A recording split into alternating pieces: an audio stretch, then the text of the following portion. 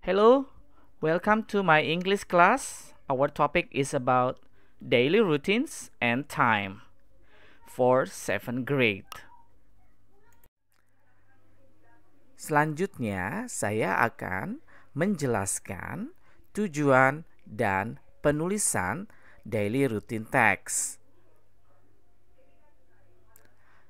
The purpose of the text, tujuan dari teks daily routine adalah telling the daily activity of someone, yaitu menceritakan aktivitas sehari-hari dari seseorang.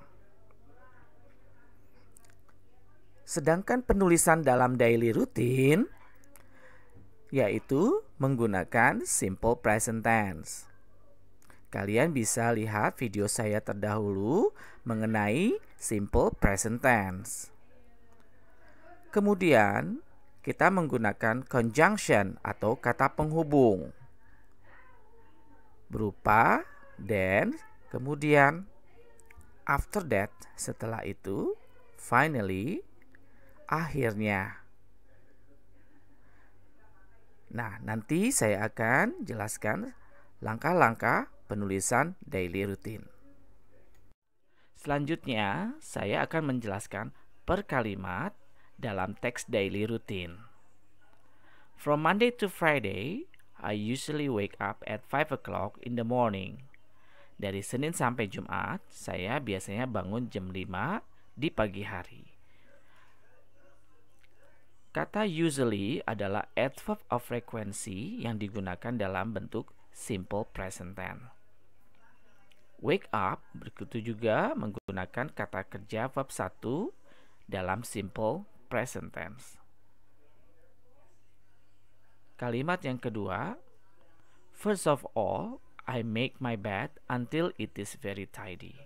After that, I sweep the floor. Pertama-tama saya merapikan kasur hingga sangat rapi. Setelah itu saya menyapu lantai. Kata make dan sweep adalah kata kerja bentuk pertama dalam penulisan simple present tense. After that adalah kata penghubung dalam bentuk daily routine. Contoh kalimat yang ketiga, I do not like to see my room dirty. Kata I do not like adalah kalimat negatif dalam bentuk simple present tense yang kita gunakan dalam daily routine text. Kalimat terakhir, before I prepare some books based on schedule, I have a shower and wear my school uniform. Kata prepare, have, dan wear adalah kata kerja bentuk pertama yang digunakan dalam bentuk teks daily routine dan before adalah kata penghubung. Well, can you make short story about daily routine? Kalian bisa membuat teks daily routine? Ya, Of course you can. Tentu kalian bisa.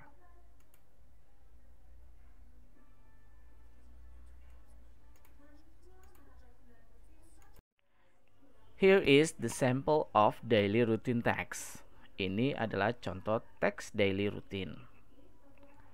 So, I will read and you can listen carefully.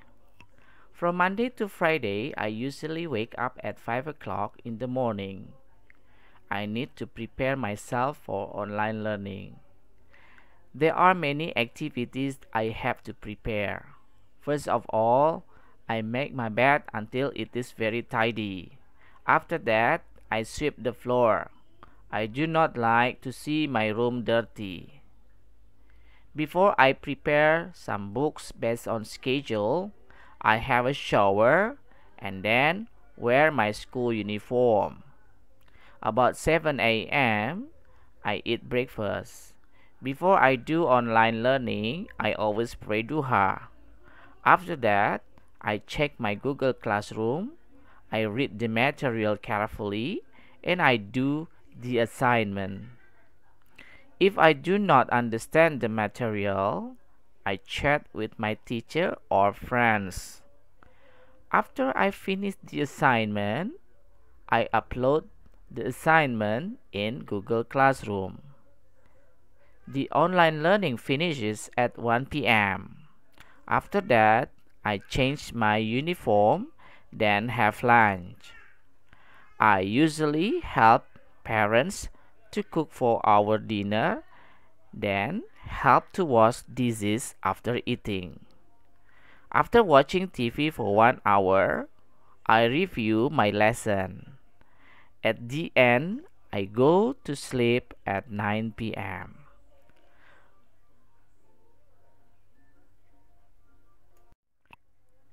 Berikut ini adalah istilah kata tentang jam. Yang pertama, AM, anti-meridian. Digunakan jam 12 tengah malam hingga jam 11.59 siang hari. Yang kedua, PM, post meridian. Digunakan pada saat jam 12 siang hingga jam 23.59 tengah malam.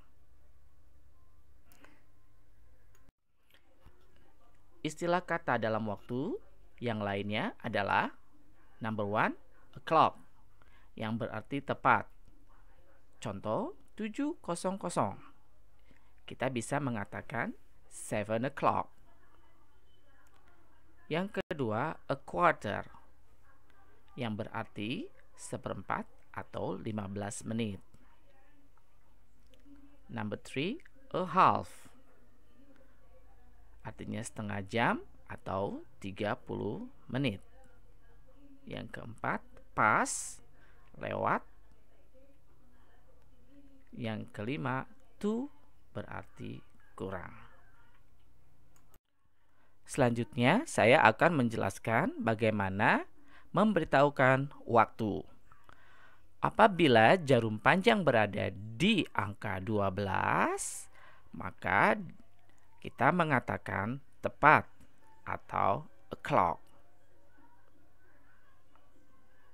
Contoh, jarum pendek di angka 1, jarum panjang di angka 12. Berarti one o'clock. Apabila jarum panjang berada di sebelah kanan kamu, maka dikatakan lewat atau pas. Apabila jarum panjang berada di angka 1, berarti lewat 5 menit atau 5 pass. Apabila jarum panjang berada di angka kedua, berarti lewat 10 menit atau 10 minutes pass. Apabila jarum panjang berhenti di angka ketiga, berarti lewat 15 menit atau a quarter past. Apabila jarum panjang berada posisi di angka keempat, berarti lewat 20 menit atau 20 minutes past.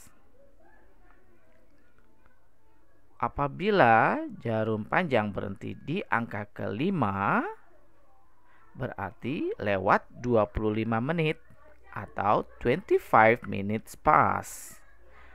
Dan apabila jarum panjang berhenti di angka ke-6, berarti lewat 30 menit atau half pass. Selanjutnya, apabila posisi jarum panjang berada di sebelah kiri kamu, berarti kurang. Apabila jarum panjang berada di angka ketujuh, berarti kurang 25 menit atau 25 minutes to Dan apabila jarum panjang berhenti di angka 8, berarti kurang 20 menit atau 20 minutes to. Dan apabila jarum panjang berada di angka 9, kita bisa mengatakan kurang 15 menit atau a quarter to.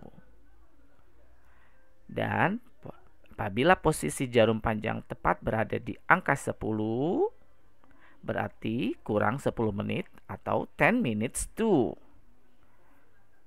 Dan apabila jarum panjang berhenti di angka 11, berarti kurang 5 menit atau 5 minutes to. Nah, jadi dalam bahasa Inggris kita mengucapkan menit dulu baru jam. Selanjutnya, saya akan berikan contoh. Selanjutnya, saya akan berikan contoh tentang telling the time. Perhatikan jam dinding berikut.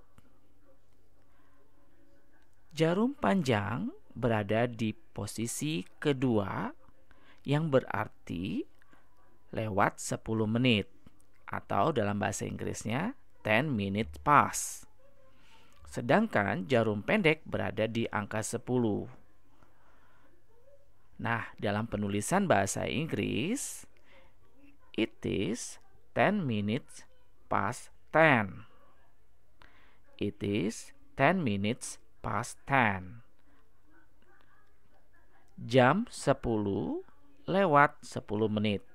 Dalam penulisan bahasa Inggris, kita harus perhatikan posisi jarum panjang.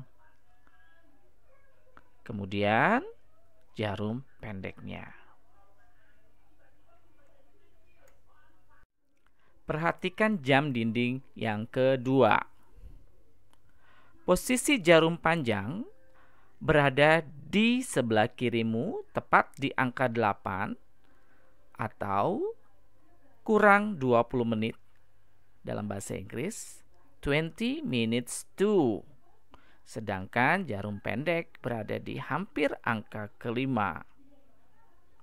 Dalam penulisan bahasa Inggris, It is 20 minutes to 5.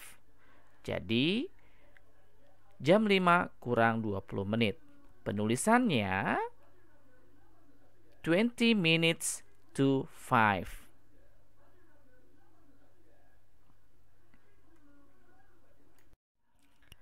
Thanks for watching and have a nice day.